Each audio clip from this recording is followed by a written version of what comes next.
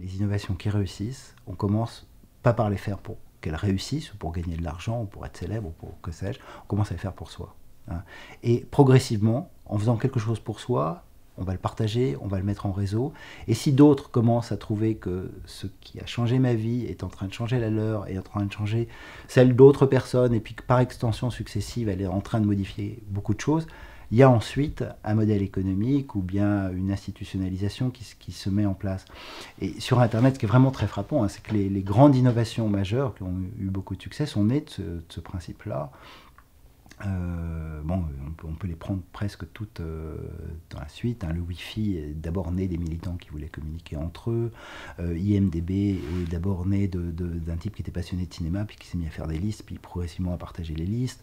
Google a attendu 2004 pour avoir un modèle économique. C'est d'abord des chercheurs un peu geeks qui, qui avaient vraiment l'impression que et qui ont qu'ils avaient trouvé une autre manière de classer l'information et de vouloir faire la nique à, ceux qui classaient de façon lexicale avec un système de, classement par les liens entrants. Euh, Facebook est d'abord né comme un, truc pour s'amuser euh, au sein des universités américaines. Le modèle économique ne vient qu'après. Donc si on est tout de suite obsédé par l'idée qu'il faut trouver un modèle économique ou bien qu'il faut agir pour des futurs clients dont on fait un business plan, etc., la plupart du temps, ça marche pas. Jimmy Wells, idem pour Wikipédia. Donc on, a une succession d'histoires comme ça, dans lequel euh, on sent bien que ce qui anime les innovations les plus fondamentales, c'est d'abord la passion euh, de groupes qui ont su progressivement euh, réussir. Alors faut pas non plus être naïf. hein, euh, les petits, c'est pas non plus l'histoire du garage tout le temps hein, qui vient. C'est que dans toutes ces histoires, pour Sergey Brin et Larry Page, pour Jimmy Wells, pour le fondateur d'IMDB, pour Mark Zuckerberg, ils ont très vite rencontré des gens qui disent il est en train de faire quelque chose pour lui, mais ce truc pour lui, ça intéresse plein de gens. Ils ont mis des sous, ils ont mis des moyens, ils ont soutenu. euh, et du coup, ça a fait réussir. Donc le, marché, les intérêts, euh, les stratégies sont, assez rapidement présentes dans ces histoires. Et puis surtout, il y a plein de gens qui ont des passions, qui ont lancé des choses, et puis ça n'a pas marché. hein. Donc on voit quelques-unes de ces innovations euh, ascendantes sur un cimetière euh, d'innovations sans doute euh, imaginatives, euh, intéressantes, etc., mais qui n'ont jamais marché et qui seront toujours oubliées. C'est le risque de toutes les, les- les micro-cultures techniques. hein, c'est qu'il y, a- un élitisme qui, lui est propre hein, et qui lui est consubstantiel. Donc, euh, moi, je, pense que c'est impossible de lutter contre l'élitisme propre de, la culture hacker. hein. Il en fait partie. La question de la virtuosité est, en fait, c'est le fondement. Si on voulait définir un hacker, on dirait c'est un virtuose. Donc, les hackers sont entre eux dans une compétition de virtuosité. Et cette virtuosité, c'est une virtuosité à l'intérieur du code, à l'intérieur de la connaissance, d'agilité, de, la, beauté du geste, de la, complexité de ce qui est fait. Euh, ça, fait partie de leur, euh, univers. Alors évidemment, le, problème, c'est de vouloir généraliser ces petits univers, de vouloir en définir le monde depuis le point de vue que définirait cette, compétition virtuose entre, entre des, élites, euh, des élites techniques la démocratisation d'Internet, euh, on peut dire massification, on peut dire démocratisation. Moi je dis démocratisation. La démocratisation d'Internet, elle s'est faite parce que des hackers, des euh, développeurs et des entreprises euh, commerciales ont considéré qu'il fallait simplifier les interfaces, trouver des modes d'accès plus simples, etc. Et que progressivement, c'est ouvert toute une série de gammes de formats participatifs sur l'Internet dans lequel des gens qui n'ont plus besoin d'avoir une maîtrise technique importante du, du, du, du, système y, y, accèdent.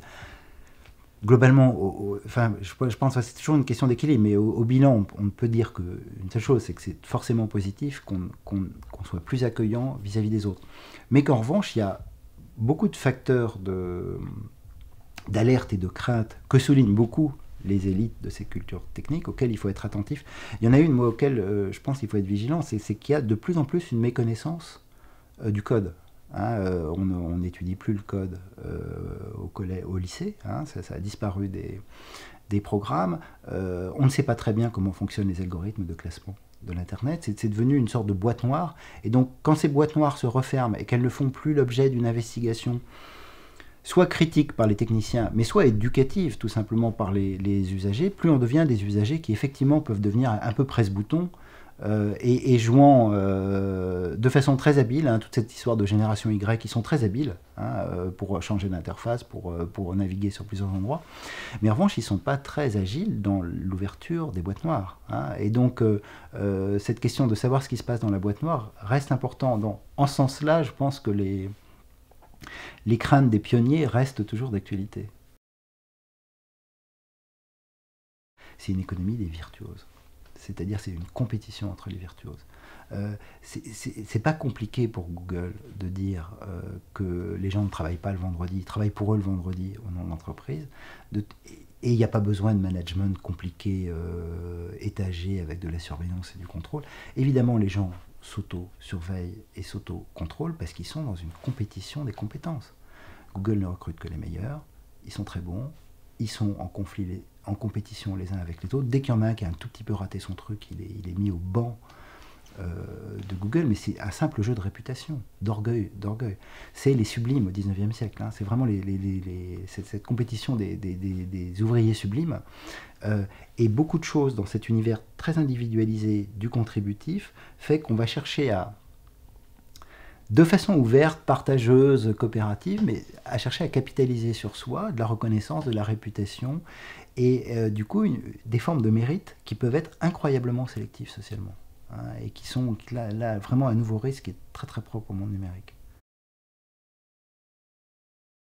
La méritocratie a des liens forts avec euh, les formes euh, des principes démocratiques, hein, et notamment cette idée que c'est pas la naissance, le destin, les conditions, euh, les conditions originelles qui doivent décider de notre futur et de notre place dans la société, mais c'est vraiment nos réalisations.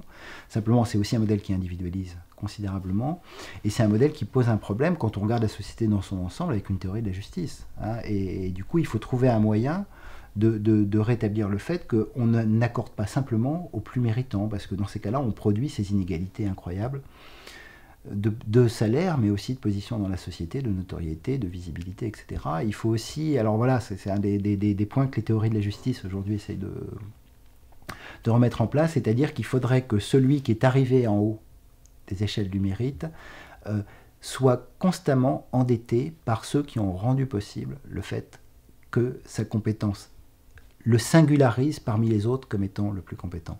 Et donc chaque, euh, voilà, chaque être singulier reconnu comme étant le plus compétent devrait pouvoir dire qu'il n'a plus l'être qu'en raison de tous les autres et qu'il sache redistribuer vers tous les autres.